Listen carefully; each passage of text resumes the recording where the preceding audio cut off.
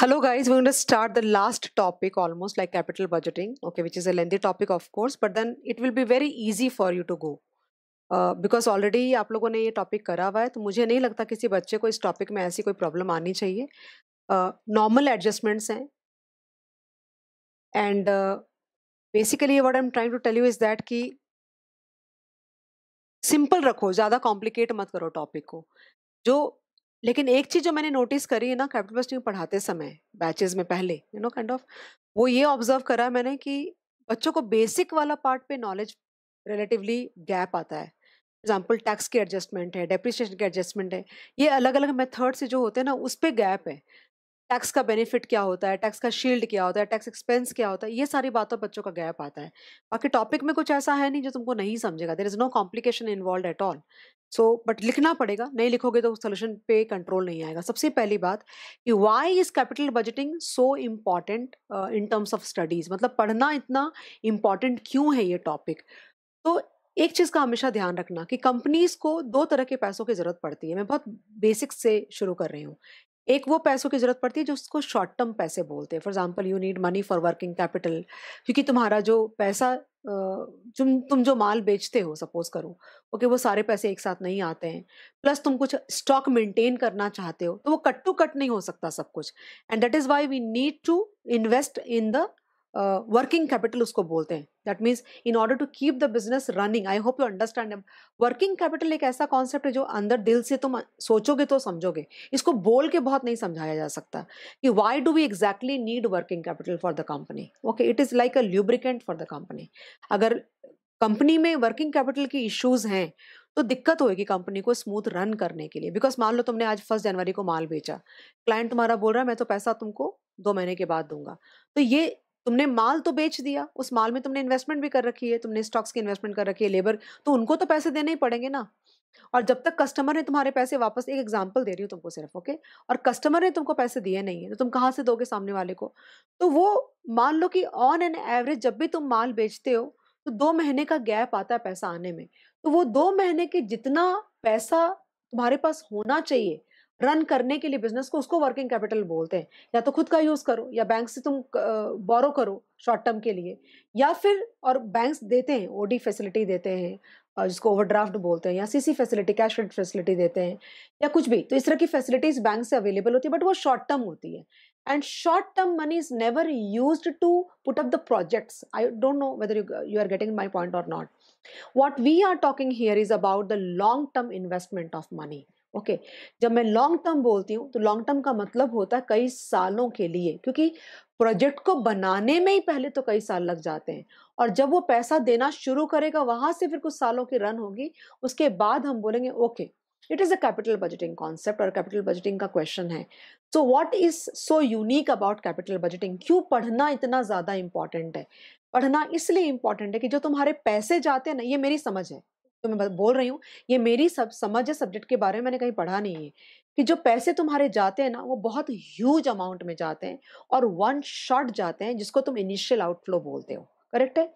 लेकिन जो पैसे आते हैं ना, वो थोड़े थोड़े पैसे आते हैं और वो फ्यूचर में आते हैं, वो बिखरा हुआ पैसा आता है and future is uncertain so whenever you are deciding on any commitment of funds with respect to the capital budgeting or any project, it becomes very very important for any person to put a lot of care मतलब बिना सोचे समझे बगैर, बिना analyse किए बगैर, हर तरीके से जो तुम कर सकते हो, उसके बिना तुमको कमिटमेंट ऑफ़ फंड्स नहीं करनी चाहिए। क्योंकि वो जो पैसे अगर तुम्हारे डूब जाते हैं then it can lead to मतलब बहुत बुरी स्थिति में तुम पहुँच जाओगे उस केस में। इसलिए कैपिटल बजटिंग का concept is very very important from the finance perspective for that matter ये तो एक बात हो गई। दूसरी बात लेम एंड लैंग्वेज में, कि मैंने इस टॉपिक को चार पार्ट में डिवाइड कर रखा है स्ट्रक्चर के पॉइंट ऑफ़ व्यू से। सबसे पहले तुमको क्या सीखना है? तुमने इंटर में क्या पढ़ा है? उन्होंने क्या बोला? कितना पढ़ना है? मैं दिमाग नहीं लगा रही। क्योंकि अगर तुमने पढ़ा भी है तो मुझे पता है कि मेरे हिसाब से मुझे चाहिए। तो मैं पूरा का पूरा टॉपिक ही तुमको प्रॉपरली डील करा रही हूँ, ठीक है? तो सबसे पहला टॉपिक आएगा प्रेपरेशन ऑफ़ कैश फ्लोस मतलब कैश फ्लोस कैसे तुम बनाओगे? मतलब कैश फ्लोस कैसे कैलकुलेट करते हैं वो नहीं। प्रोजेक्ट के कैश फ्लोस कैसे बनाओगे? मतलब initial cash flow operating cash flow terminal cash flow Correct, correct, uh, Prashant. And Akshita, you can leave like one or two pages. She's asking for something. Okay. Now, so preparation of cash flows पहले तुम सीखोगे कि भाई cash flows कैसे हम prepare करते हैं project के लिए हम कैसे कैलकुलेट करेंगे कैश फ्लोज को okay number two appraisal criteria appraisal criteria का मतलब हुआ कि ये प्रोजेक्ट मुझे लेना चाहिए क्या नहीं लेना चाहिए ये कैसे डिसाइड करूँगी मैं उस तो क्राइटेरिया होना चाहिए तो वो क्राइटेरियाज में क्या आएगा जहाँ पे टीवीएम का यूज़ होता है ओके okay, जहाँ पे टीवीएम का यूज़ होता है तो एनपीवी आएगा आईआरआर आएगा और प्रॉफिटेबिलिटी इंडेक्स भी आएगा। जहाँ पे नॉन अकाउंटिंग मेथड होता है उसमें आता है ए आर आर आता है पे बैक पीरियड आता है वो अपने लोग को पढ़ना नहीं है। तो अपने को मेनली यही तीन पढ़ने होंगे N P V I R R and profitability index जो पी आई जिसको बोलते हो या ओके। एंड उसके बाद थर्ड टॉपिक आएगा तुम्हारा स्पेशल डिसीज़न सिचुएशंस मतलब स्पेशल डिसीज़न सिचुएशंस का मतलब इन्फ्लेशन के साथ कैपिटल बजटिंग देन तुम्हारा होता है रिप्लेसमेंट ऑफ़ अ प्रोजेक्ट की प्रोजेक्ट प्रोजेक्ट का मतलब जब कैपिटल बजटिंग पढ़ते हो ना तो इसका ये मीनिंग नहीं है तो कि हम हर समय हम नए प्रोजेक्ट के बारे में बात करें, नहीं। तुम्हारे पास कोई भी बड़ा अमाउंट अगर लॉन्ग टर्म को तुम्हारे अफेक्ट करता है तो वो कैपिटल के बजटिंग के अंदर ही तुम पढ़ोगे। For example inflation and capital budgeting यानी इन्फ्लेशन के साथ तुम्हारे रेवेन्यूज और कॉस्ट को अफेक्ट करता है वो। तो वो एक ऐसे सात आठ सिचुएशंस हैं। Then replacement of a project already मैं कुछ तरीके से एक मशीन थी ओके और वो मशीन अब मैं रिप्लेस करना चाहती हूँ। तो मुझे रिप्लेस करना चाहिए कि नहीं करना चाहिए? तो तुमको देखना पड़ेगा कि नई मशीन लाने से जो तुमको सेविंग्स हो रही है मेंटेनेंस की एंड रिपेयर की, और जो पुराने में जो पैसा जा रहा है, उसका डिफरेंस कितना ज़्यादा है? अगर सेविंग ज़्यादा हो रही तो रिप्लेस करना चाहिए, ऐसे वाले डिसीज़न अच्छा तुमने डिसाइड कर रहे हैं रिप्लेस तो मुझे करना है। अब रिप्लेस ये डिसाइड हो गया कि रिप्लेस करना है, कब करना है? आज करे, कल करे पर मतलब आज करे कि अगले साल करें? तो उसको बोलते हैं timing of the project okay तो उसके बाद ये कैलकुलेट करना कि भाई economic life of the plant क्या होती है? Economic life of the project क्या है? बेसिकली इसका क्या मीनिंग हुआ? कि एक तो होता है कि मशीन को तब तक चलाओ जब तक ये मर ना जाए, और मशीन को जब तक चलाओ जब तक ये थक नहीं जाए। तो बेसिकली हम ये के जानना चाहते हैं दैट कि मशीन थकने कहाँ पे वाली उसको बोलते economic life of project I will talk in very very layman language the way I understand about capital budgeting so that is how I understand I and I also think that तुमको भी वही समझेगा तरीके से. उसके बाद कई बार ऐसे बोलते कि हम सब बहुत सारे प्रोजेक्ट्स को स्टैंड अलोन बेसिस पे नहीं ले सकते. ओके okay, तो हमको कॉम्बिनेशन लेना पड़ेगा. फॉर एग्ज़ाम्पल कोई तुमने मशीन लिया है बहुत बड़ा उसको रुकना नहीं चाहिए. फॉर एग्ज़ाम्पल कई सारी तुम्हारे मोल्ड कोई चीज़ का मोल्ड बन रहा है मशीन के अंदर में. तो बीच में अगर तुम्हारे वो मशीन रुक जाती है लाइट कहीं चली जाती है समझो तो पूरा का पूरा तुम्हारा वो खत्म हो जाएगा। तो जनरेटर लेना पड़ेगा तो छोटा मोटा जनरेटर नहीं होता तो बहुत बड़ा जनरेटर होता है। तो तुमको उसके साथ कंपल्सरीली एक और तुमको लगाना पड़ेगा। यू you नो know, तो उस तरह की चीज़ें को इवेल्युएशन करना ये सारा उसके बाद एडजस्टेड प्रेजेंट वैल्यू मेथड आता है। एंड रियल ऑप्शंस आएँगे तुमको स्पेशल मुझे लगता है तुम्हारे सी एंटर में रियल ऑप्शन तुमने नहीं पढ़ा होगा। तो ऐसे करके सात आठ सिचुएशन बनते हैं वो सारे मुझे लगता है तुमको पढ़ने चाहिए। कम से कम दो दो सम तो करना ही चाहिए। और लास्ट जो टॉपिक है, वो है risk analysis in capital budgeting risk analysis in capital budgeting जहाँ पे तुमको प्रोजेक्ट की वेरिएबिलिटी एवरेज ये सब निकालना आएगा, वो पार्ट सबसे आसान आएगा एक्चुअली अगर वैसा क्वेश्चन आया ना तो बहुत ही मज़ा आ जाएगा तुमको। क्योंकि उसमें कुछ करना ही नहीं है। पोर्टफोलियो के कॉन्सेप्ट लगते हैं। तुमको एनपीवी ये भी हो सकता है, ये भी हो सकता है, ये भी हो सकता है, ये भी हो सकता है। प्रोबेबिलिटी दी हुई रहेगी, तुम पी करोगे P X minus X bar करोगे एंड दो चार कैलकुलेशन बोलते हैं, करने को वो तुम कर सकते हो। बहुत ईजिली मैनेज होता है। तो वो पार्ट अगर देखा जाए तो सबसे आसान होता है। रादर जो मैंने अभी तीन पार्ट जो शुरू के बोले, ये थोड़े ऑलरेडी मुश्किल नहीं होते। टाइम टेकिंग बहुत होता है कैपिटल इन्वेस्टिंग और कोई प्रॉब्लम नहीं है। I hope you are good guys all of you बढ़ू आगे? तो ये आज एक काम करती हूँ कि मैं तुमको इंट्रोड्यूस पूरा कर देती हूँ कैपिटल बजटिंग को ओके और एक आधा सम फ्रेम करके मुझे कराना होता है बच्चों को, ताकि एक बेस बन जाए। उसके अप्रेजल क्राइटेरिया तक इंट्रोड्यूस कर देती हूँ और उसके बाद फिर अपने मेन जो पार्ट है वो कल कंटिन्यू कर सकते हैं। I hope all of you're fine with that don't worry relax आज बहुत ही ईजी गया लेक्चर वैसे देखा जाए तो कुछ था ही नहीं लेक्चर में आज के। थोड़े नोट्स भी बना के लाती हूँ मैं हमेशा। स्टार्ट कर दो लिखना। Point number one. Capital budgeting.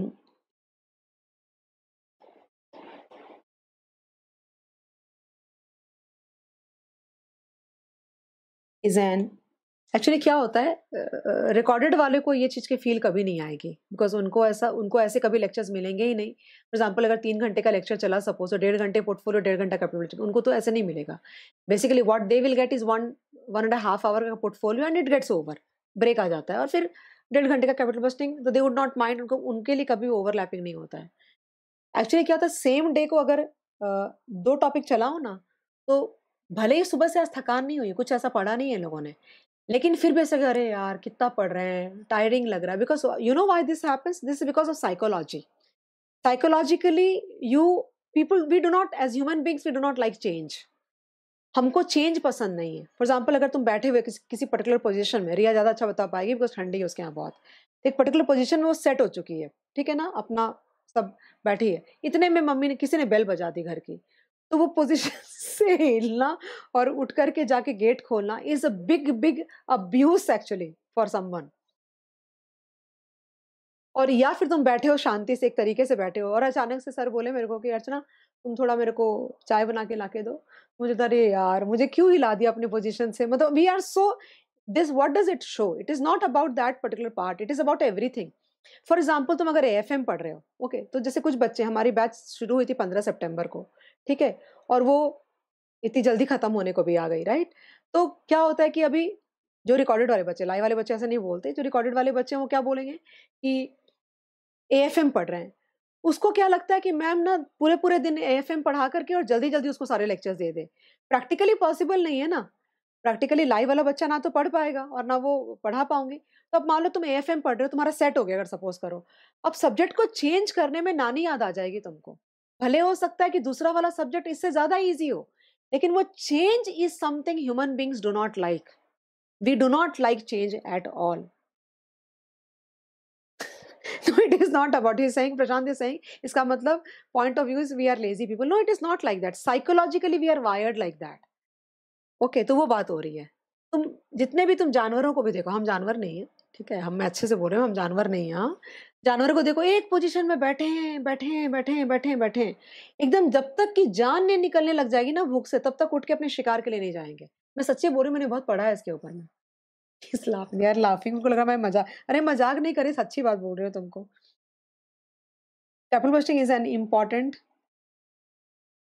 everything stock खरीद के बैठी हूँ तो वही स्टॉक खरीद के बैठी I get I fall in love with the stock प्यार क्या होता है ज़िंदगी में? जो किसी से प्यार हो जाता है, वो क्या होता है? प्यार जैसी कोई चीज़ नहीं होती दुनिया में। आदत पड़ जाती है, उसको इनर्शिया बोलते हैं। तो जो बोलते ना, मुझे उससे प्यार हो गया। प्यार वार कुछ नहीं होता ज़िंदगी में। प्यार इंसान खुद से करता और किसी से प्यार नहीं करता। तो वो इनर्शिया डेवलप हो जाता है उसके साथ रहने का, उसी को देखने का। अब उसको चेंज करो तुम अपने पार्टनर को। लगता है यार, इसके साथ फिर से सेटिंग करनी पड़ेगी, इसको समझना पड़ेगा, क्या पसंद नहीं। तो वी डोंट लाइक दैट। इसलिए लगता है इसके मतलब तुम समझो ना, मैं क्या कहना चाहती मैं बहुत सारी बातें बोलना चाहती हूँ, बट मैं बोलूँगी नहीं। चलो। कैपिटल बस्टिंग अरे इनको लगता है हमको प्यार हो गया। कुछ प्यार नहीं होता। है capital budgeting is an important इनके जिस, जिनको प्यार हुआ होगा ना, उनको, उनकी सब उतर जाएगी। Okay is an important field of study क्यों निखिल? सही बोल रही हूँ क्या?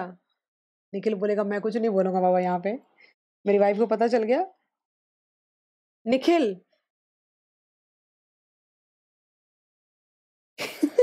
निखिल कुछ नहीं बोल है भी कि गया। ओके ए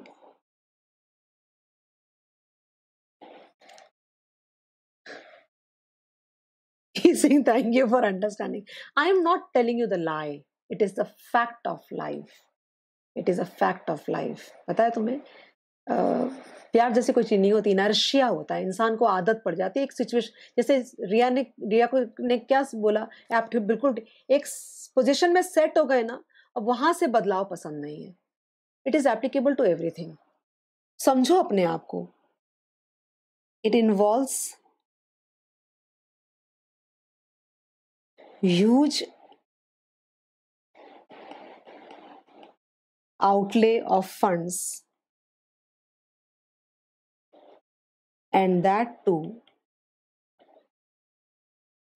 one shot मतलब शुरू में तो बहुत मतलब हो सकता है कि पैसा अगर सौ करोड़ का प्रोजेक्ट है तो एक बार तो शुरुआत में बहुत लगेंगे। तुमको प्लांट बनाना है थोड़ी पाँच पाँच करोड़ करके दोगे तुम।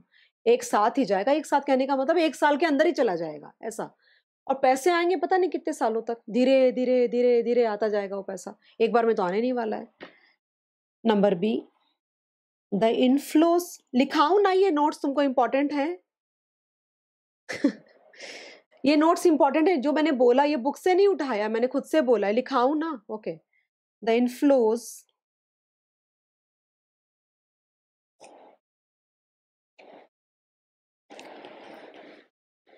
are spread out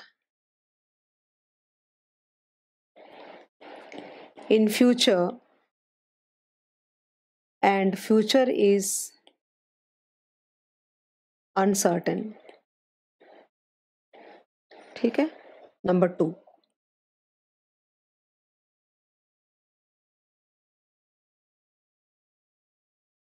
this topic can be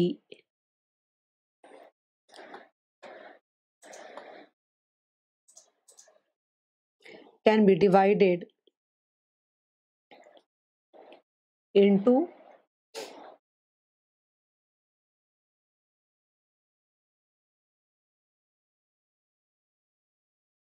four parts. A. Preparation.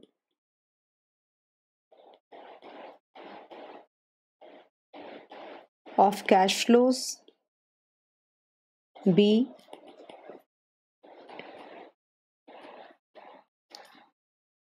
Appraisal criteria. And c special decision situation भगाती हूँ गाइज़ हाँ। अब टारगेट करते हैं डेली का बैठो थोड़ा ज़्यादा भी। D risk analysis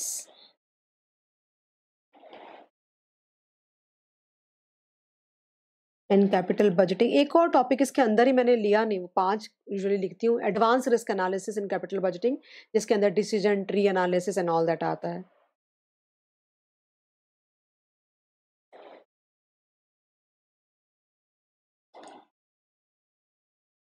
Okay, now here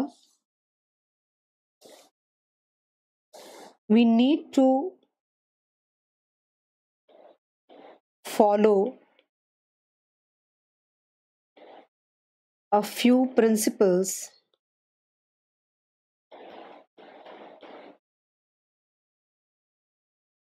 in capital budgeting.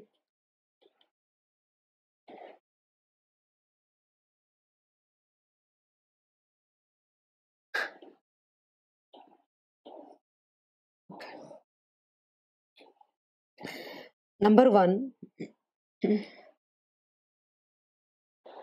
incremental cash flow principle. रिया, बात करूँगी तुमसे मैं। टेंशन मत लो। नहीं, ये ये this is not correct way of numbering for me because ये ऐसे होना चाहिए, ठीक है? Number two post tax principle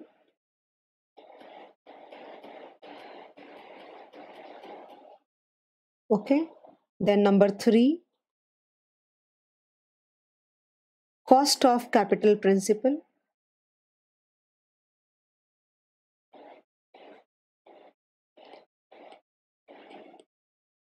and number 4 point of view principle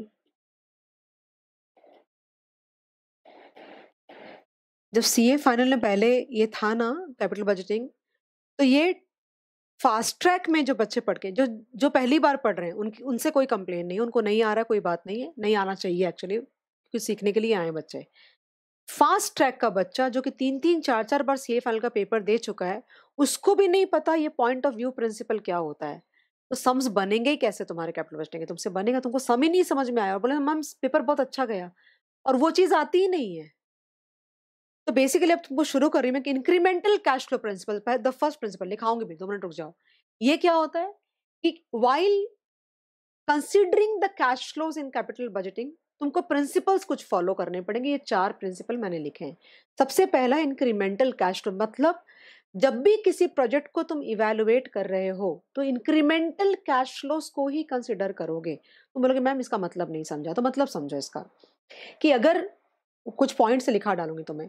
तो मान लो कैसे बोलते हैं अपन? Allocation of the existing overheads not allowed मतलब अगर तुम किसी प्रोजेक्ट को इवेलुएट कर रहे हो तो जो ओवरहेड्स ऑलरेडी खर्च हो रहे हैं किसी दूसरे बिज़नेस को लेकर के या तो किसी दूसरे प्रोजेक्ट को लेकर के, वो इस प्रोजेक्ट के कॉस्ट में तुम ऐड नहीं करोगे। But we will definitely consider the incremental overheads but इस प्रोजेक्ट के लिए अगर तुम कुछ खर्च कर रहे हो, मान लो कि कोई जगह भाड़े पे ले रहे हो या रेंट कर रहे हो या कुछ और ले रहे हो तो वो कंसिडर करोगे। Effect of subsidiaries and effect of complementaries for example I am running a tea line और मैंने कॉफ़ी लाइन भी चालू कर दी। तो पहले मेरा टी लाइन में सपोज़ सौ करोड़ का धंधा हो रहा था और कॉफ़ी लाइन में मेरा पचास करोड़ का धंधा हो रहा है। होगा, ऐसा मुझे कैलकुलेशन है। लेकिन क्या हो रहा है? कि अब जो लोग टी पीते थे, उसके कुछ लोग कॉफ़ी में शिफ्ट कर जाएँगे, ओके? तो मान लो कि सौ करोड़ के सौ करोड़ का धंधा टी का हो रहा था, कॉफ़ी लाइन शुरू करने की वजह से क्या होगा कि दस करोड़ से टी की सेल नीचे गिर जाएगी, यानी नब्बे करोड़ हो जाएगी, और इसकी सेल पचास करोड़, यानी कि इसकी एक्चुअल सेल पचास नहीं, इसकी एक्चुअल सेल चालीस ही है। समझ आ रही है बात? ऐसी वाली चीज़ें कंसिडर होनी चाहिए। उसके बाद, अगर तुम्हारे पास में कोई एसेट है ऑलरेडी लाइक मेरे पास कोई लैंड है, मुझे प्रोजेक्ट करना है तो अगर उसका कोई अपॉर्चुनिटी कॉस्ट ऑलरेडी है लाइक मैं रेंट पे कर सकती हूँ या कुछ और कर सकती हूँ तो उसका कॉस्ट कंसिडर होना चाहिए बिकॉज़ तुम लूज कर रहे हो। और अगर उसका कोई अपॉर्चुनिटी कॉस्ट नहीं है तो उसका कॉस्ट हमको कंसिडर नहीं करना चाहिए। तो ऐसी सारी बातें तुमको दिमाग में रखनी पड़ेगी while preparing the cash flows और एक the cost incurred on the feasibility report and the research and D would not be a past part of the cost of the project क्यों? Because it is considered as a sunk cost क्योंकि वो लग चुका। तुम project लगाओ या नहीं लगाओ, वो कॉस्ट से कोई लेना देना नहीं। लेकिन मेरा यहाँ पे एक बहुत बड़ा मतभेद है। मतलब I have my own kind of controversy दिमाग में that it is not true for all the industries I tell you something मैंने पहले भी बोला कि फार्मा कंपनीज़ जो होती हैं, जो तुम्हारी मान लो कोई कोई बहुत ही लाइफ सेविंग ड्रग है तुम्हारा। फॉर एग्ज़ाम्पल कैंसर का कोई इंजेक्शन है या कैंसर की कोई तुम्हारी मेडिसिन है वो सपोज़ करो कि कोई इंजेक्शन की वैल्यू एक लाख है तो उसके अंदर वो केमिकल ही है। उसकी वैल्यू उस केमिकल की वैल्यू एक्चुअली कुछ भी नहीं है।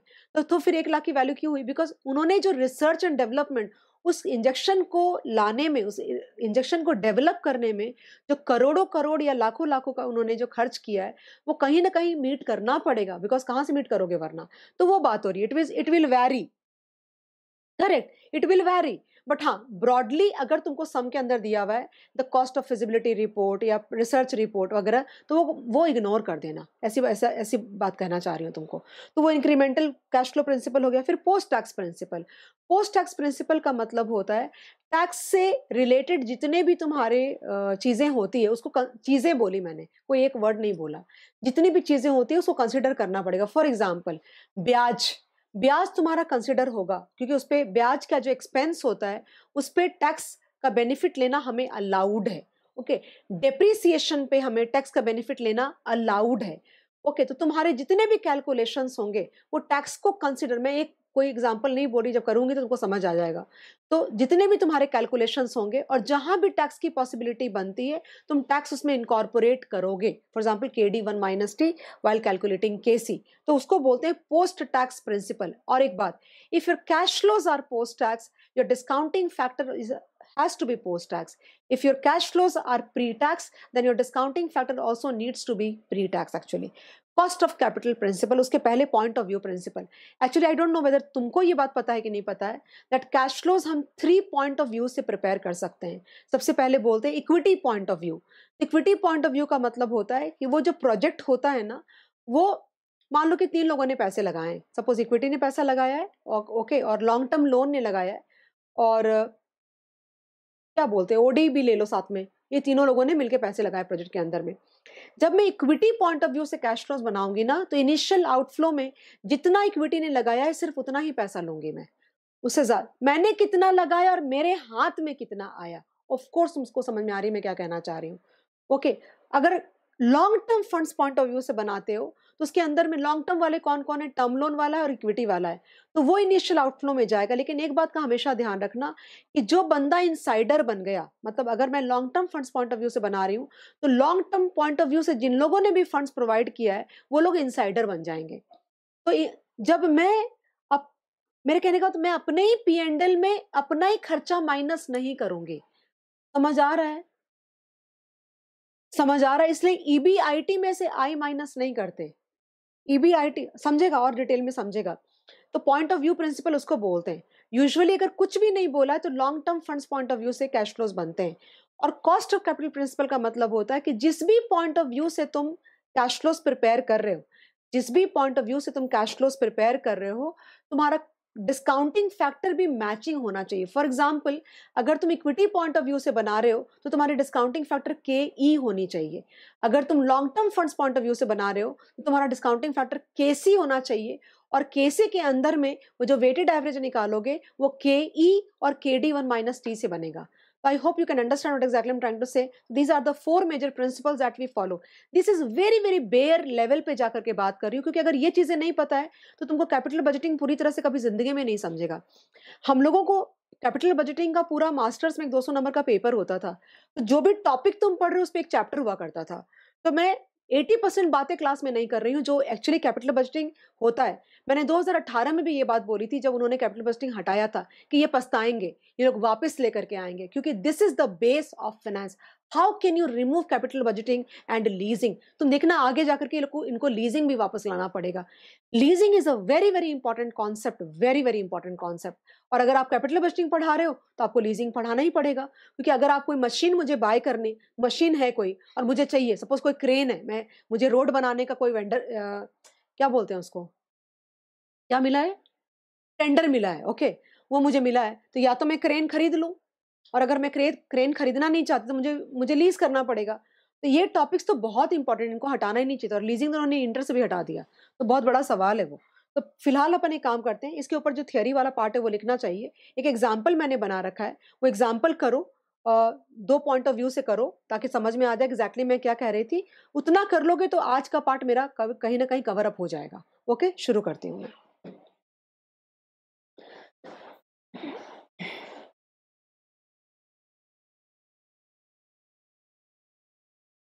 Incremental.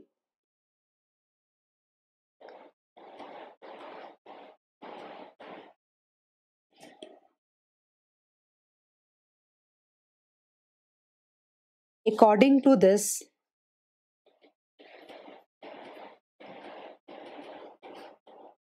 we should consider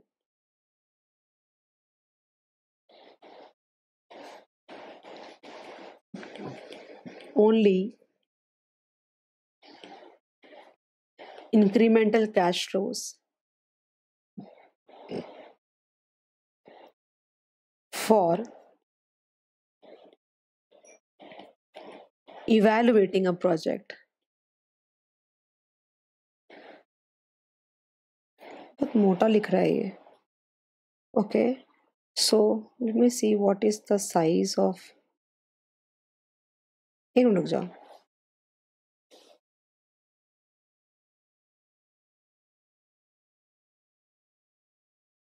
करके देखती हूँ, पता नहीं।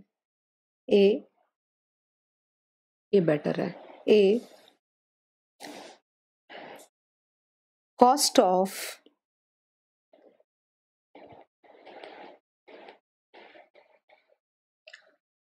existing overheads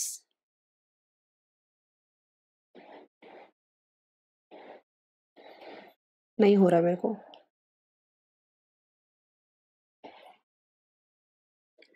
Must not be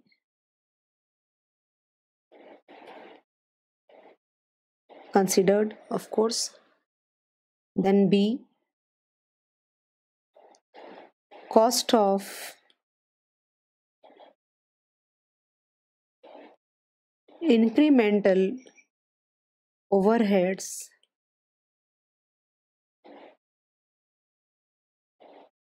must be considered C. Opportunity cost of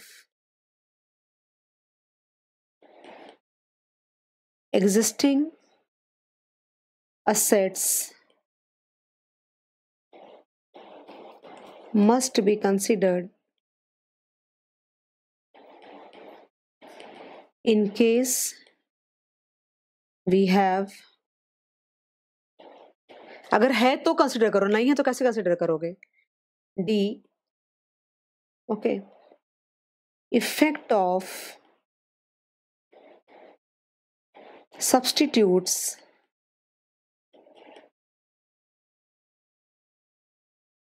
and complements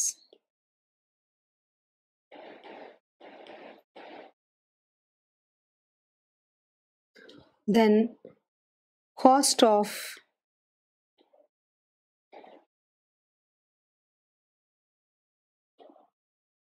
feasibility report and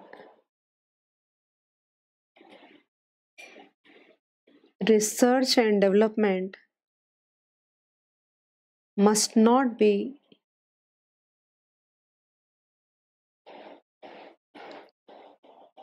considered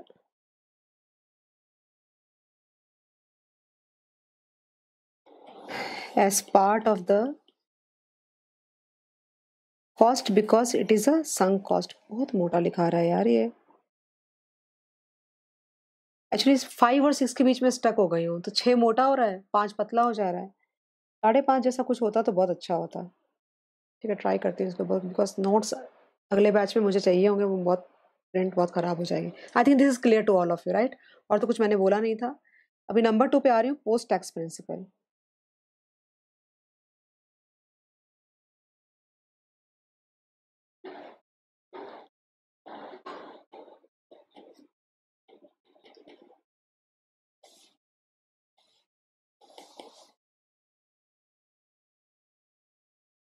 So all the cash flows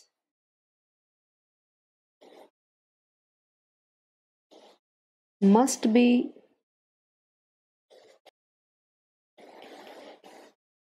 adjusted for tax. Also if cash flows are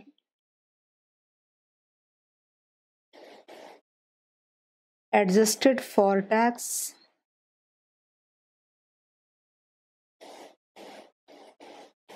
discounting factor must also be post tax for mathematical compatibility right point of view principle लेती हूँ point of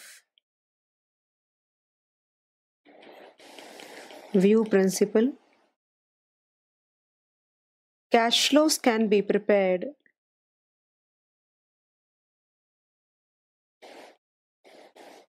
From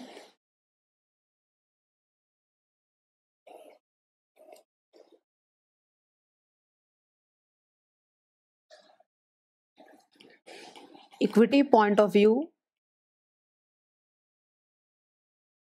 B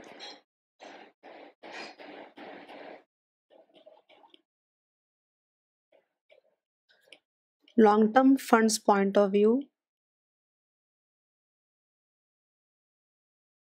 and C total funds point of view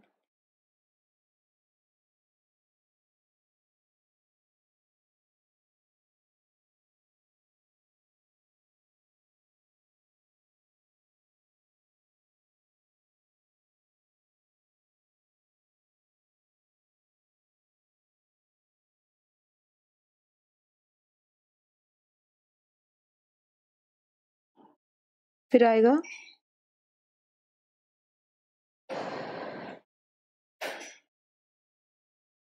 Cost of capital principle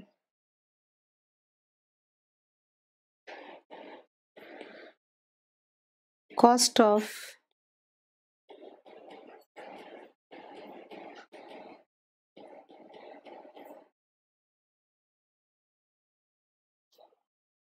cost of capital or WACC should be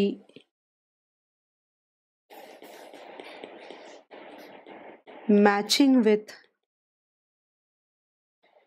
point of view naturally अगर तुमने long term funds point of view से cash flows बनाए discounting factor में जिसके point of view से बनाया, उस, वो सारे लोग रिप्रेजेंट होने चाहिए कॉस्ट ऑफ़ कैपिटल में. पॉइंट ऑफ़ व्यू खत्म हो गया ये पार्ट थियोरी का। इससे ज़्यादा तुमको स्टार्ट मिल गया आज एक ना बहुत अच्छी बात हो एग्ज़ाम्पल बना रही हूँ। मतलब ऑन द स्पॉट मैंने लिखा, लिख के कहीं रख रखा है शायद को।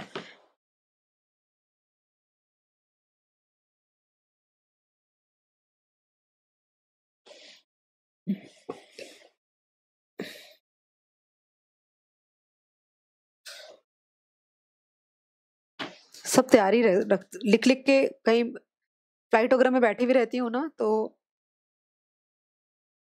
मतलब सोच सोच के लिख लेती हूँ एग्जाम्पल्स कि ये मुझे ये करना है ये करना है। ऑन द स्पॉट पे अगर बनाओ ना तो थोड़ा बैक कैलकुलेशन करके चेक करना होता है कि आपने आपको जो पढ़ाना है वो सामने बच्चे को कैलकुलेशन के अंदर दिखनी चाहिए। मैं पढ़ाना एक्स चाह रही हूँ और दिखने आंसर वाई आ गया। तो वो वही अप्रोप्रिएटली फ्रेम्ड एग्ज़ाम्पल बोलते हैं उसको। तो वो चीज़ तुम एडहॉक बेसिस पे करो तो सही भी जाता है बट गड़बड़ हो गई तो बच्चे ज़्यादा कंफ्यूज हो जाते हैं। ओके okay, तो एग्ज़ाम्पल आ रहा है तुम्हारे सामने में सिंपल सा एग्ज़ाम्पल है। Example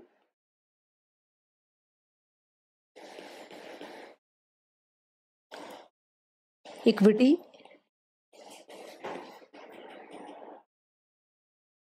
Hundred.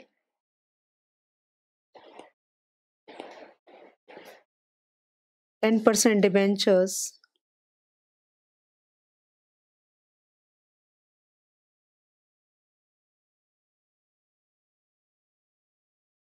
Fifty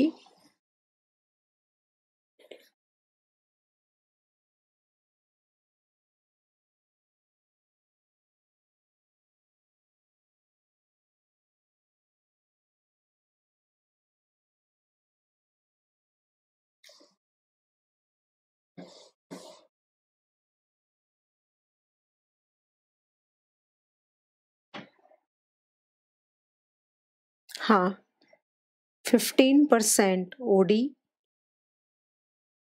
eight creditors two okay total आएगा दो सौ दस और करंट एसेट ले लो। एक रुको।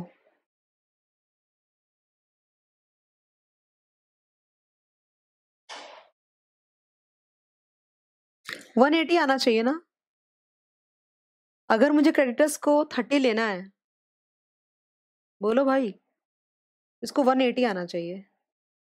करेक्ट और सी ए हो जाएगा तुम्हारा थर्टी करेक्ट ना? क्योंकि मेरे हिसाब से आठ और दो दस। दस तुम्हारा सी एल है राइट ना और क्रेडिटर्स करेक्ट हाँ ना, बोलो, कहाँ भाग गए सब? ये हो गया दो सौ दस। करेक्ट सही जा रहा है ना एग्ज़ाम्पल और भी कुछ डेटा ले रखा है मैंने हाँ ये बैलेंस शीट बना दी मैंने sales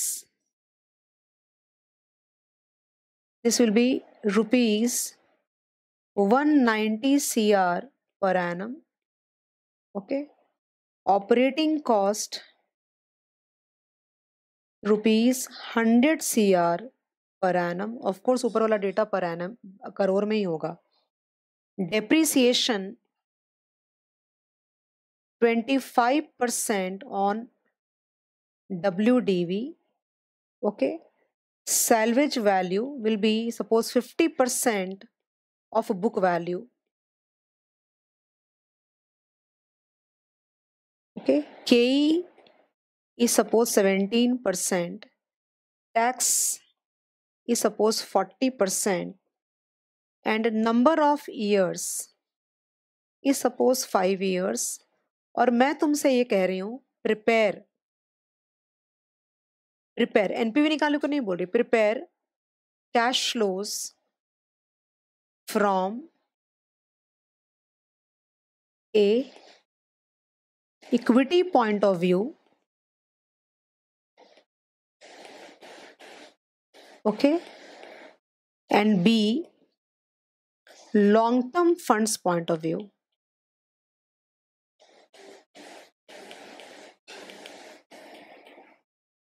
शुरू करूँ? देखो क्वेश्चन एक साथ देखो पूरा। एक ये सम कराऊँगी ना तुम्हारा, क्या होगा? वार्म अप हो जाएगी कैपिटल बजटिंग कैश फ्लोस कैसे बनाना है, क्या माइनस करना क्या प्लस करना यू नो know? वो एक हाथ बैठना चाहिए। एक बार हाथ बैठ गया। हर टॉपिक को पढ़ाने का तरीका बहुत यूनिक होना चाहिए टीचर का भी, कि हर टॉपिक को एक तरीके से डील कर सकते हैं क्या? नहीं। इस टॉपिक में मुझे पता है तुमको आता है, लेकिन मुझे तुम्हारे अंदर से निकालना पड़ेगा।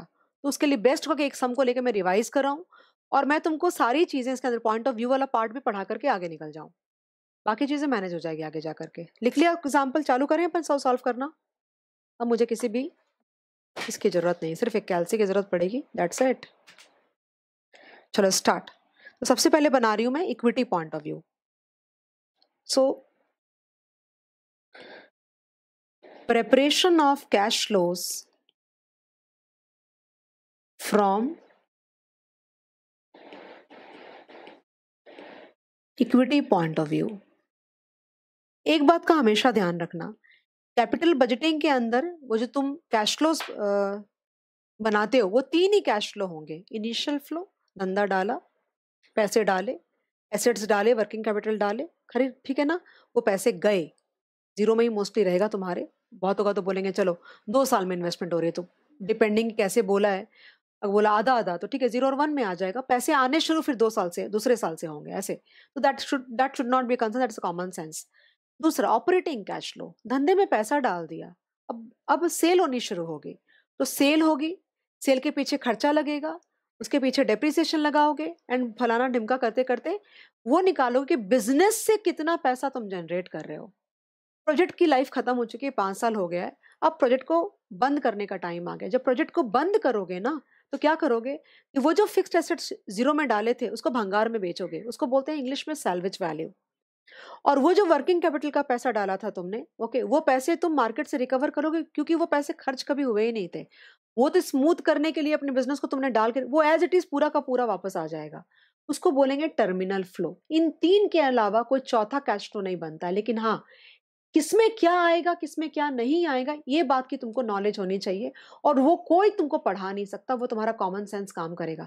कुछ हद तक I will definitely tell you the rules that what are the rules that you need to follow but everything can not be explain to you because ad hoc basis पे तुम्हें चीज़ें कंसिडर और वो उतना मुश्किल नहीं है डोंट वरी अबाउट दैट जितना मैं पढ़ाऊँगी, उतना अच्छा खासा हो जाएगा, तुम्हारा मैनेज हो जाएगा पेपर बस इतनी सी बात है।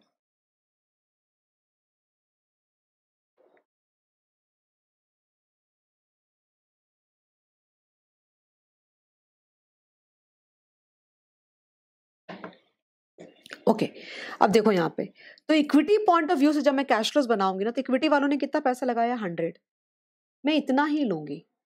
जब मैं इक्विटी पॉइंट ऑफ़ व्यू से कैश फ्लो ध्यान देना इक्विटी पॉइंट ऑफ़ व्यू से कैश फ्लोज बना रही हूँ ये वाला ये वाला ये वाला, इसका कुछ ब्याज है नहीं। ये सारे लोग मेरे लिए, और ये वाला भी एक्चुअली ये सारे लोग आउटसाइडर है मेरे लिए। इन सबको देने के बाद, देना मतलब ऑपरेटिंग में से ब्याज और टर्मिनल में तुमको क्या करना पड़ेगा? टर्मिनल में तुम भंगार में अपने एसेट्स को बेचोगे सैलवेज वैल्यू लोगे वर्किंग कैपिटल लोगे और इन सबको इसके पैसे वापस करोगे। वो करने के बाद जो बच गया वो तुम्हारे घर चला जाएगा। Agree all of you that is that is the logic of point of view actually देखो यहाँ पे स्टार्ट कर जाओ। सो पर्टिकुलर्स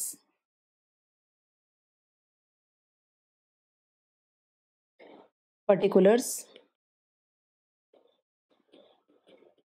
और यहाँ पे आएगा एक, दो, तीन, चार और पाँच, ठीक है? सो इनिशियल फ्लो नहीं ज़ीरो भी आना चाहिए था। Sorry sorry sorry sorry sorry sorry शुरू में गड़बड़ हो गई? भूल गई मैं। यहाँ पे ज़ीरो भी आएगा। इनिशियल फ्लो तो इक्विटी पॉइंट ऑफ़ व्यू से बन रहा है तो लोगों ने कितना डाला है? हंड्रेड करोड़ ब्रैकेट्स में दे दो, खत्म। Now what you are going to start with is a computation of operating flow सबसे पहले क्या लेंगे? सेल्स और सेल्स कितनी बोली इन्होंने? 190 करोड़ एवरी ईयर बोला है। तो 190 ओके 190 देन 190 190 एंड देन 190 ठीक है?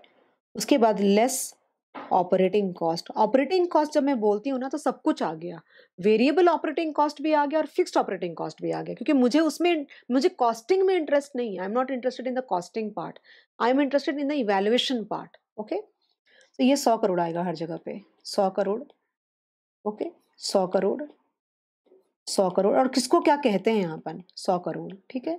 इसको बोलते हैं E B D I T EBDIT इसको बोलते हैं operating income EBDIT is operating income तो हर जगह पे नाइन्टी अलग अलग भी हो सकता है, कोई ज़रूरी थोड़ी सारा सेम होगा, वो तो डिपेंड करता है, समय तुमको क्या देगा। मैंने सिंपल रखने के लिए ऐसा किया है। अब माइनस डेप्रिसिएशन करना पड़ेगा तुमको। तो माइनस जब डेप्रिसिएशन करोगे ना तो डेप्रिसिएशन के लिए तुमको एक वर्किंग नोट तुम बना सकते हो, चाहो तो। बिल्कुल बना सकते हो। ओके लेकिन मैं तुम्हारे लिए चीज़ें सिंपल भी कर सकती हूँ। फॉर एग्ज़ाम्पल मैंने क्या बोला? Twenty five percent on W D V तो twenty five percent on one eighty कैसे चलाओ? One eighty into point two five रुको मैं करके दिखाती हूँ कुछ, तुमको शॉर्टकट करके दिखाती हूँ। मुझे लगता आता भी होगा तुम सबको। यहाँ पे जाओ और वर्किंग नोट ओके तो यहाँ पे आएगा computation of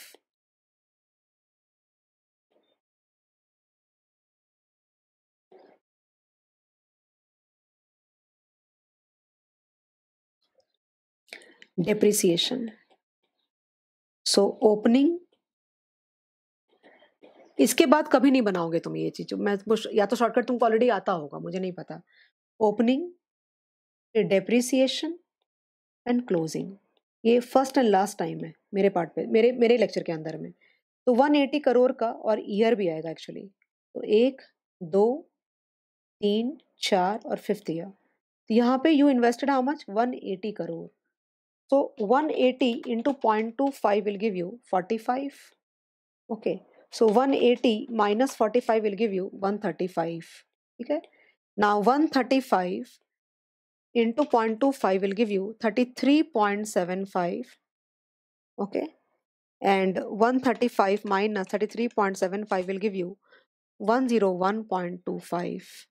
Then 101.25 into 0.25 will give you 25.3125 okay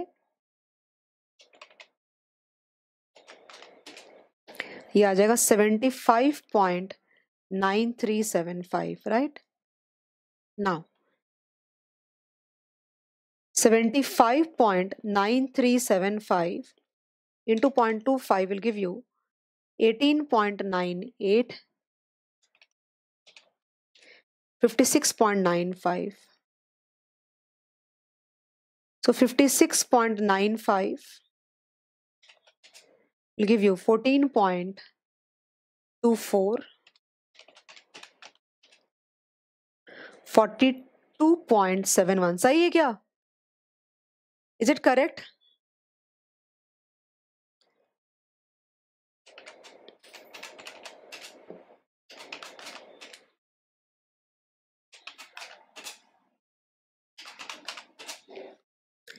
correct ना लेकिन मैं तुमको बताऊँ, कैसे चलाओ अपना? इतना क्यों करूँगी मैं? डब्ल्यू में करने की ज़रूरत क्या मुझे? कैसे चलाओ? 180 ठीक है? 180 eighty into point two five कितना आया? कितना दिख रहा है कैलसी one eighty into forty five okay अब ये इतना कैलकुलेशन में क्यों करूँगी? अब क्या करो? फोर्टी फाइव दिख रहा है ना? अब करो into into point seven five कितना आया? Into point seven five into point seven five into point seven five करते जाओ, काम खत्म हो गया। या फिर forty five minus twenty five percent minus twenty five percent minus twenty five percent कैसे भी कर लो, एक ही बात है। डन है? तो basically we can do directly here so ये आ जाएगा one eighty into point two five will give you forty five minus twenty five percent 33.75 minus twenty five percent twenty five point three one ही लेती हूँ। उतना नहीं, जगह नहीं मेरे पास में। Eighteen point nine eight okay fourteen point two four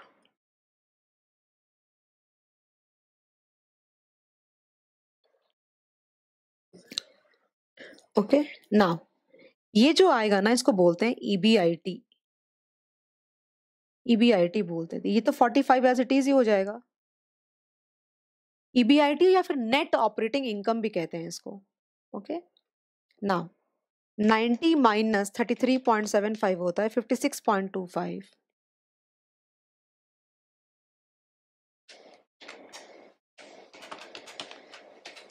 64.69 90 minus 18.98 will give you 71.02 and 90 minus 14.24 75.76 okay? okay? अभी क्या करना होगा?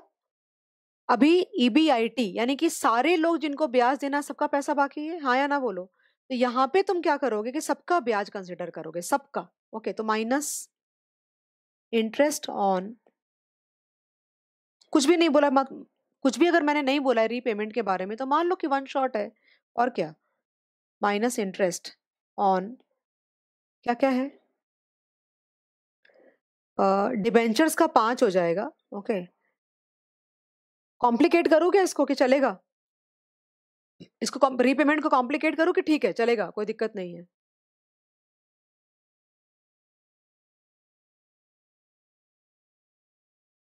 कॉम्प्लिकेट करूँ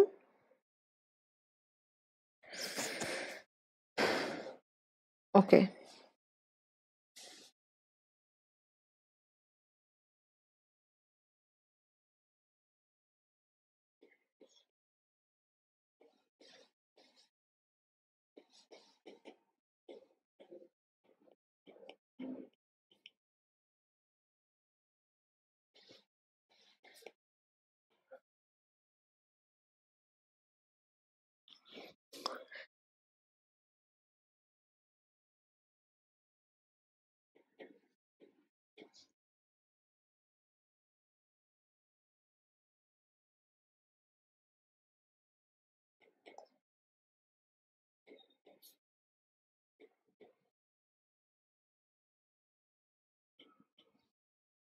Minus interest on term loan ध्यान देना, मैंने बोला इक्वल इंस्टॉलमेंट में करो उसको। बेसिकली मेरे कहने का तो बारह परसेंट ऑन पचास, पहले साल में पूरा जाएगा। पचास into point one two will give me six okay और पचास को एक काम करो, तुमको ये दिमाग में चलना चाहिए कि फ़र्स्ट ईयर में ही हम लोगों ने टेन वापस किया होगा हाँ या ना? फ़र्स्ट ईयर में हमने टेन वापस भी कर दिया होगा। अगर टेन वापस कर दिया तो चालीस इंटू पॉइंट वन टू आएगा ये। ये फोर पॉइंट एट ज़ीरो आएगा, करेक्ट है? फिर तीस पे पॉइंट वन टू आएगा, three point six zero, okay? दिमाग में चलना चाहिए। फिर बीस पे इंटू पॉइंट वन टू आएगा, टू पॉइंट फोर, ओके? और ये one point two zero.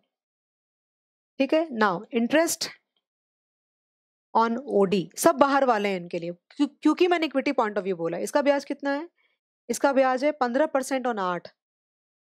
So eight into point one five is one point two everywhere one point two one point two अब खत्म हो गया सबका पेमेंट क्रेडिटर्स लोग हमको ब्याज चार्ज करनी है अगर करते तो हम वो भी माइनस करते हैं इसमें से। अभी अपने को क्या करना है पता है? सीधा आएगा EBT earnings before taxes okay निकालो। So forty five minus five minus six minus one point two will give you 32.8 okay, then uske baad 56.25 minus 5 minus 4.8 and minus 1.2 will give you 45.25 ठीक है? फिर ये आएगा sixty four point six nine minus five minus three point six minus one point two will give you fifty four point eight nine okay उसके बाद है 71.02 minus 5 minus 2.4 and minus 1.2 will give you 62.42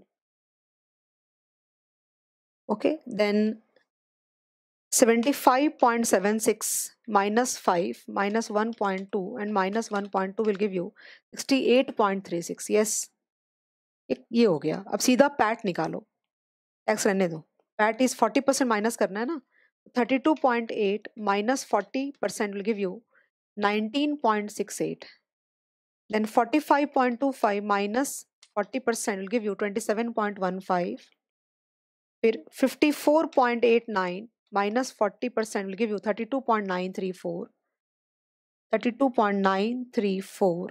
Then 62.42 minus 40% will give you 37.45.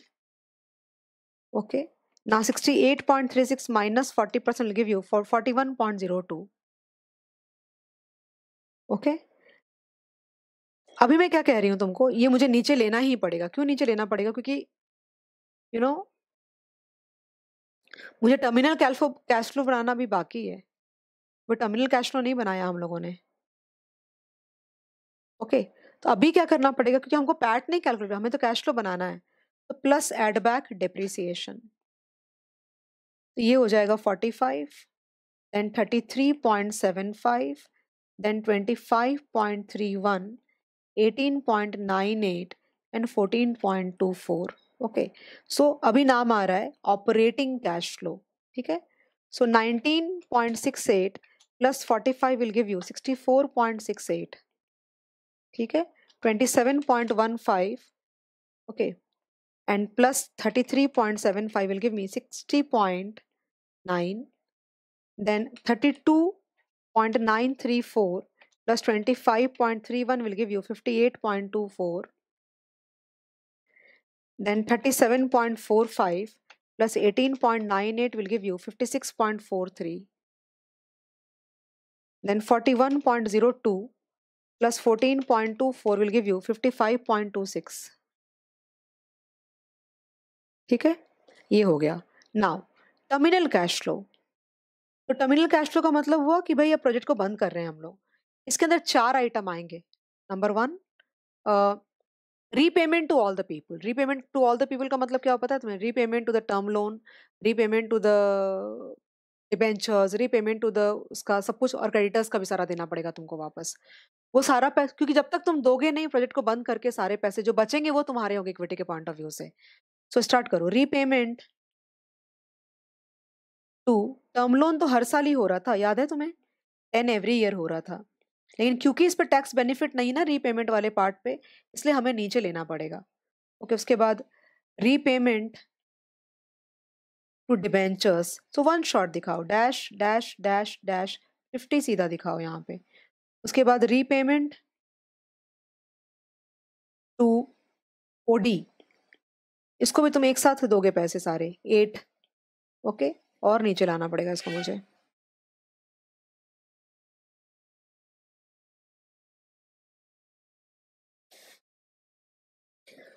now repayment to creditors. Two. Okay सबको पे कर दिया तुमने? ना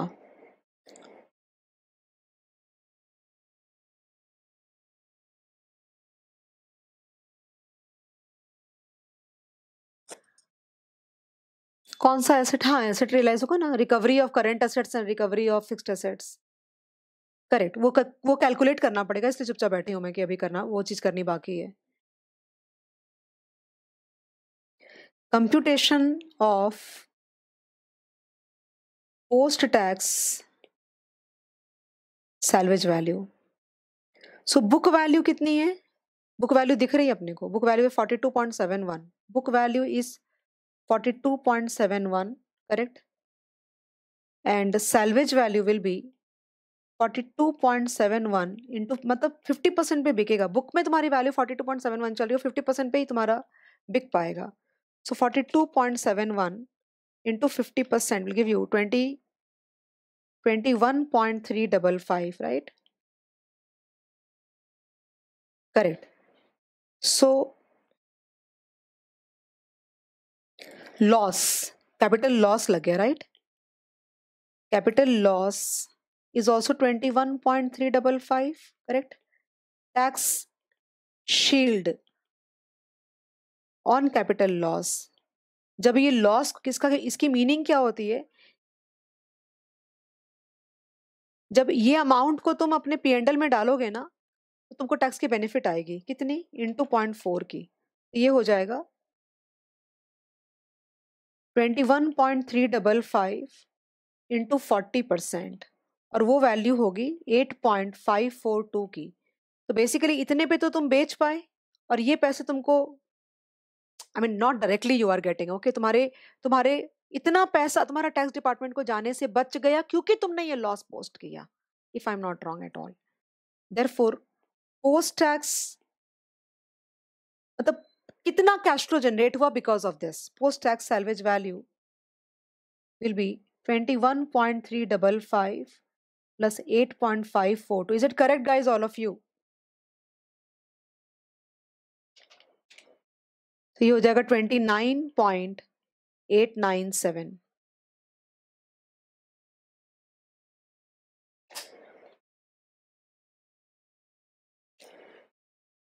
नहीं प्लस होगा।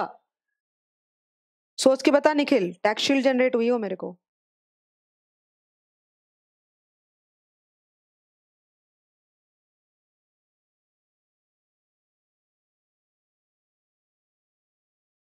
सही है कि नहीं सही है? अब recovery of current asset and recovery of fixed asset दो करने हैं अपने को। तो रिकवरी ऑफ़ एफ़ ए सही है ना? हाँ ध्यान रखना Nikhil twenty nine point eight nine twenty nine point nine zero कर देती हूँ। Twenty nine point nine zero होगा और ये हो जाएगा रिकवरी ऑफ़ सी ए कई बार ना वर्किंग कैपिटल बोलते तो फिर ये अलग अलग नहीं आता C A minus C L करके डायरेक्टली आ जाता वो एक साथ ही पूरा। करेक्ट करेक्ट कितना है सी ए तीस है क्या? अब भी तुमको नेट सी एफ़ करना है पूरा। So net C F hundred तो नेगेटिव आ ही जाएगा यहाँ पे राइट ये हंड्रेड यहाँ पे नेगेटिव आ जाएगा। मतलब तुमने एज इक्विटी कितना लगाया? देखो ध्यान से, पूरा कैश फ्लो पैटर्न देखो। तुमने इक्विटी के तौर पे कितना लगाया? हंड्रेड लगाया। सबको देने के बाद, सब कुछ करने के बाद जो बचा वो तुम्हारा हो गया। अब देखो यहाँ पे। So basically repayment so sixty four point six eight है ना? तो ये हो जाएगा fifty four point six eight और क्या?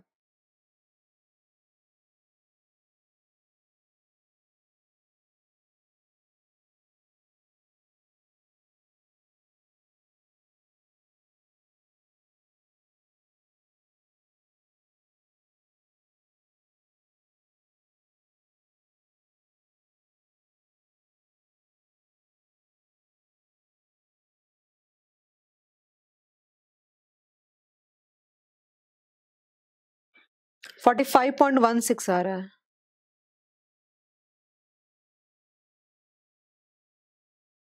क्या बोल रही है रिया? अगर फुल पे बेचते तो कैपिटल लॉस नहीं। नहीं नहीं होता नहीं होता। तो फिर book value is equal to salvage value हो जाता ना। बुक वैल्यू इज़ हमारी सैलवेज कैपिटल टैक्स का एडजस्टमेंट नहीं आता फिर कुछ भी।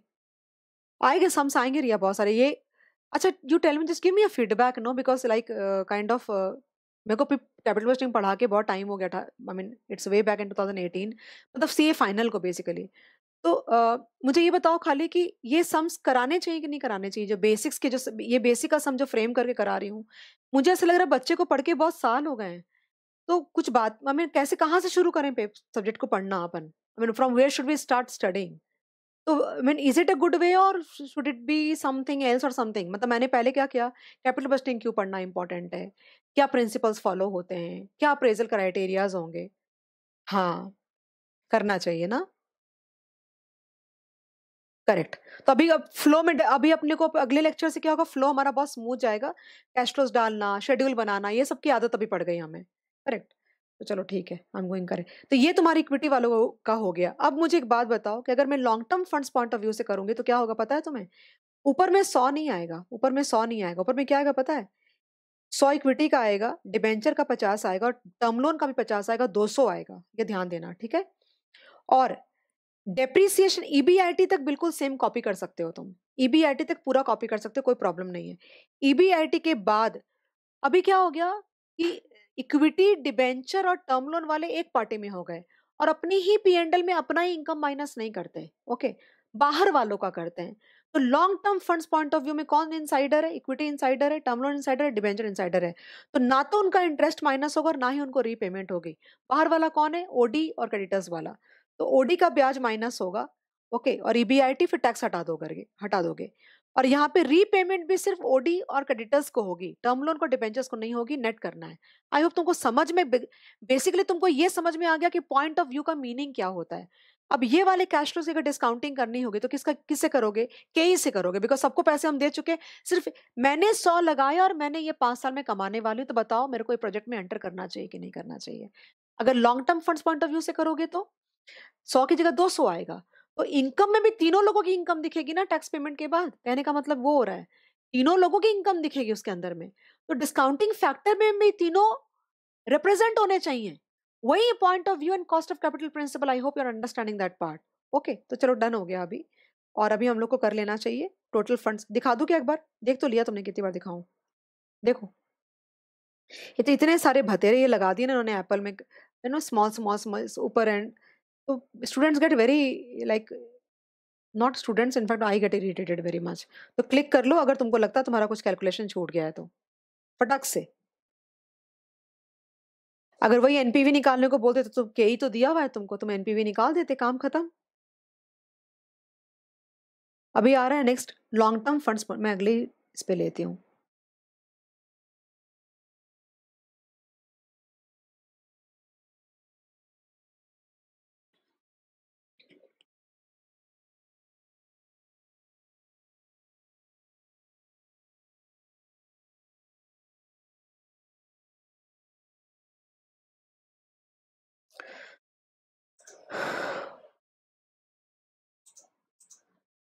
ओके शुरू करते हैं अपन लोग। Particulars zero one two three four and five बहुत जल्दी हो जाएगा ये। So initial you will take two hundred you can just copy all your data from ऊपर से। Sales 190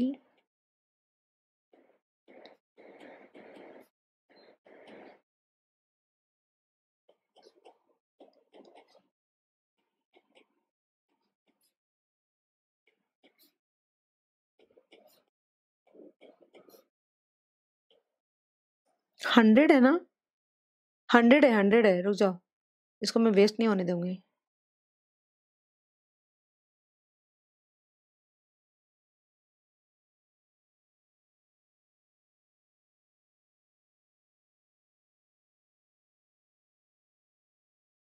मतलब मैं इतना एफर्ट करने को रेडी हूँ, पर मैं ये करने को रेडी नहीं हूँ, मेहनत करने को right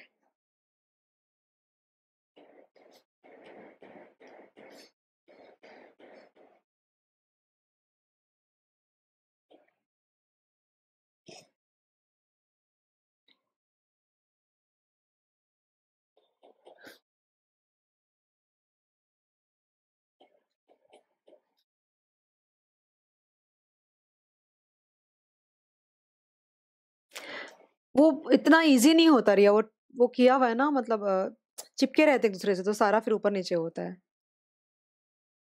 So one eighty into point two five forty five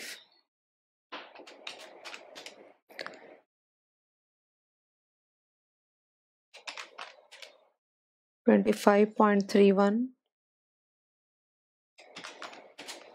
18.98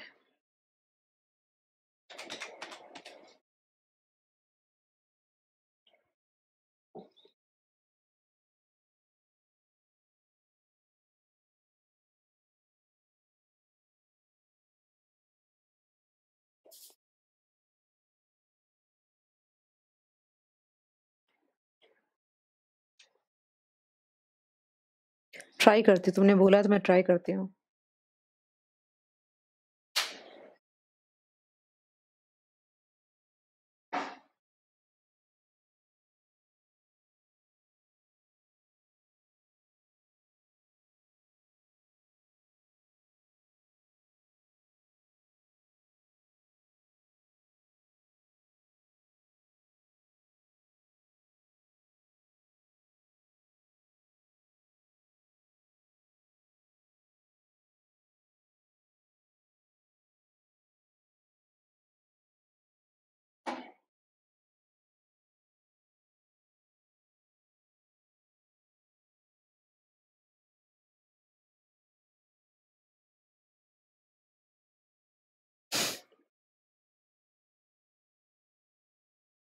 बच्चे बोले, मैम को ना मस्ती हो रही है। मैम का मन नहीं करा पढ़ाने का। Interest on OD.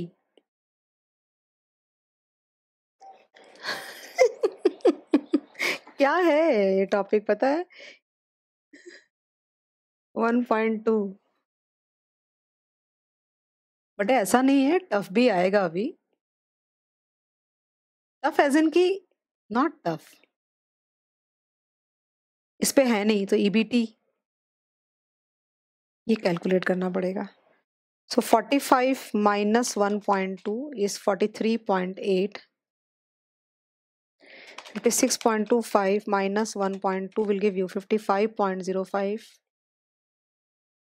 sixty four point six nine minus one point two will give you sixty three point four nine 71.02 minus 1.2 will give you 69.82 okay and 75.76 75.76 minus 1.2 will give you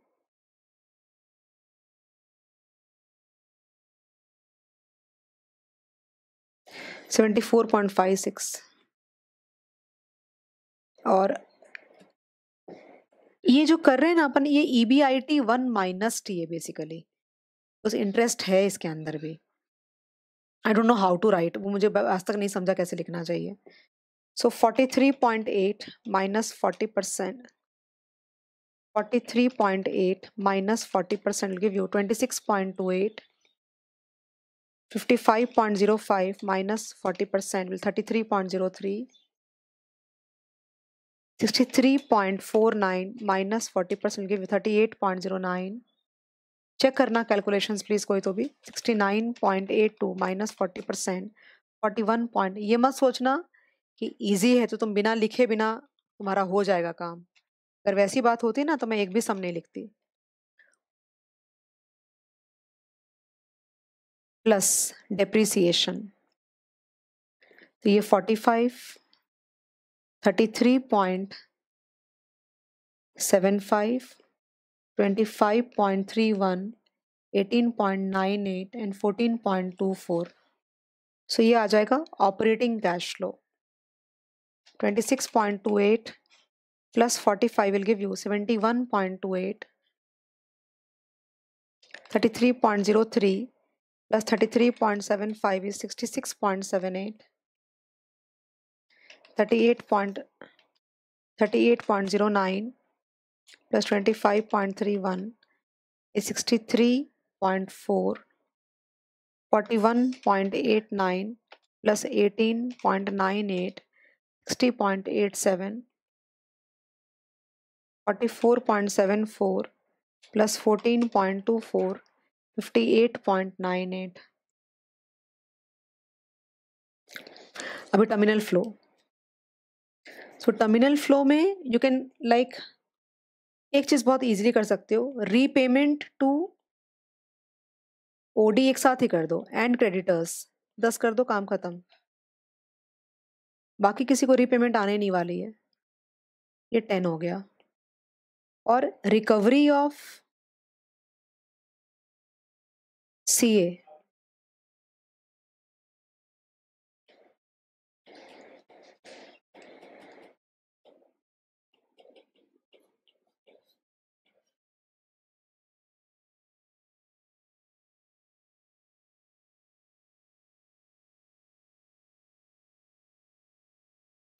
so so,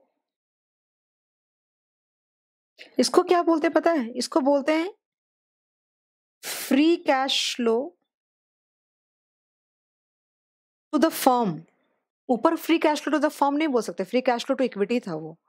to form form का मतलब हुआ debt and equity both free cash flow to project एक ही language है। सब long term funds point of view तो तुमको देख के वर्ड पकड़ना पड़ेगा, यही बात मैं तुमको बोल रही थी। एक भी बच्चे को नहीं पता।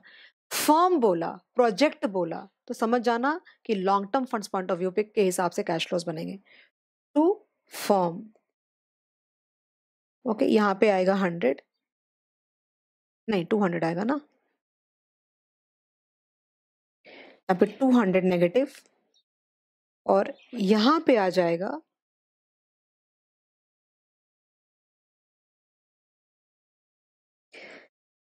71.28 66.78 63.4 60.87 और 108.88 खत्म।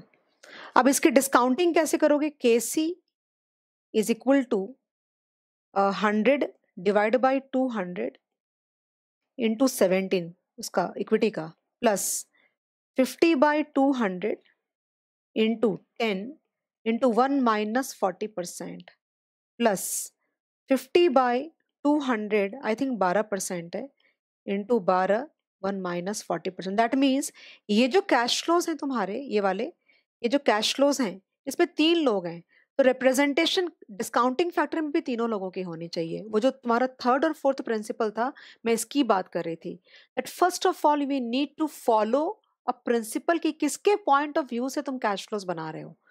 उसके बाद एक बार तुमने डिसाइड कर लिया कि भाई, मैं long term funds point of view से हम लोग बना रहे हैं। तो तुम्हारी जो कॉस्ट ऑफ़ कैपिटल होगी या डिस्काउंटिंग फैक्टर होगी मतलब वो दोनों मैथमेटिकली कंपैटिबल होने चाहिए। अदरवाइज़ अगर गैप होगा तो दैट मीन्स वो जो तुम निकाल रहे हो, वो गलत जाएगा तुम्हारा। I think they have understood well तो कैलकुलेट करके डिस्काउंटिंग कर लेना। ऊपर एक के e से, सत्रह परसेंट से डिस्काउंटिंग होगी।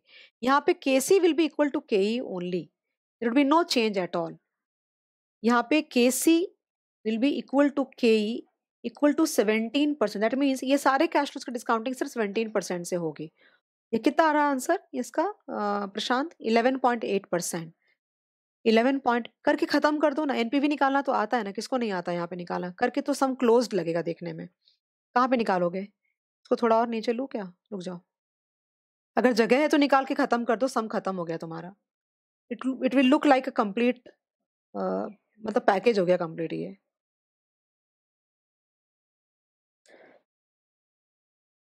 सीधा निकालो एनपीवी मुझे एनपीवी बता दे प्रशांत, मुझे नहीं जाना। किसको नहीं आता निकालने? एनपीवी बताना जरा मुझे। तो discount 54.68 and further at the rate of 17 percent give me the NPV सीधा। इसका भी दे एनपीवी का निकाल करके मेरे को और उधर भी देना। टाइम दिया है तुमको।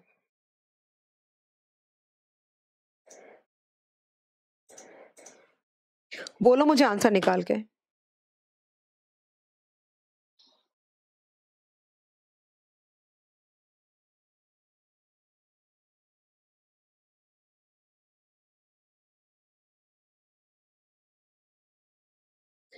इतना, नहीं नेगेटिव नहीं आएगा रिया, गलत जा रहा बेटा कोई कहीं तो भी। कैश बहुत ज़्यादा हैं।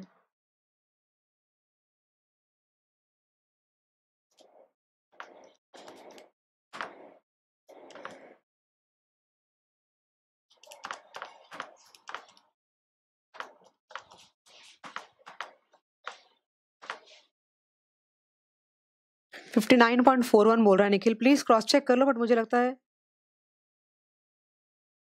और भी लोग क्रॉस चेक कर लो please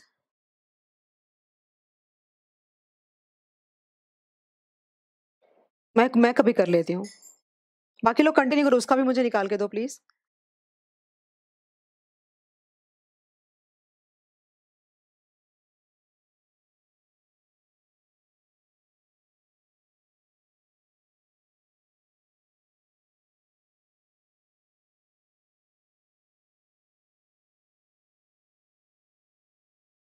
fifty nine point four one is correct actually one fifty nine point four one आ रहा है, हंड्रेड माइनस करूँगा तो fifty nine point four one आ जाएगा। अब इसका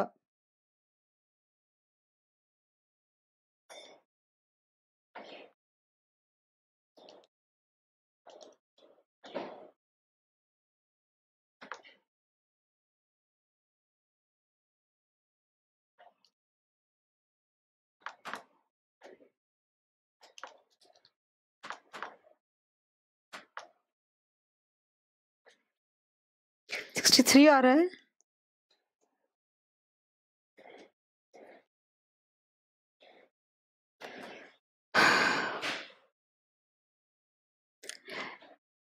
चलेगा एक्चुअली पता है, ये दोनों एनपीवी सेम होने चाहिए। पता है तुमको एक बात ये, एक ही प्रोजेक्ट के दो एनपीवी कैसे हो सकते हैं? NPV is always meant for equity people NPV जो आया ना, वो इक्विटी वाले लोगों के लिए आता है। It is only because of the mathematical rounding of की वो अलग अलग आ रहा है। एनपीवी कोई भी मेथड से करो NPV is meant for equity. वो पूरा का पूरा एनपीवी जाके एडअप हो जाएगा रिजर्व्स के अंदर में अगर प्रोजेक्ट पॉजिटिव हुआ तो, ये ध्यान रखना तुम। जिसका जो आया सही है तो I think we are done guys and समझा ना? हाँ। ये वी आर डन अभी बहुत ही छोटा दिख रहा है ये।